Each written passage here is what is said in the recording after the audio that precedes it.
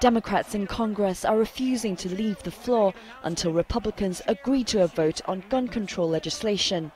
The shooting on June 12th at a gay nightclub in Florida, where a gunman killed 49 people, has reignited the debate on the issue. Some gave speeches during the demonstration, including House Democratic leader Nancy Pelosi and Ohio Democrat Timothy Ryan.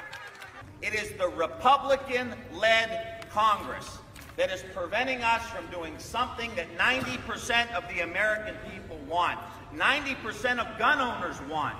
It's the Republicans who won't allow this to happen. In a move to shut down the protest, Republicans scheduled a vote on an issue unrelated to gun control. Republican House Speaker Paul Ryan says he won't bend to the Democrats' demands, calling it a publicity stunt. Guns are a contentious political issue in the United States. Defenders for gun rights say they have a constitutional right to bear arms.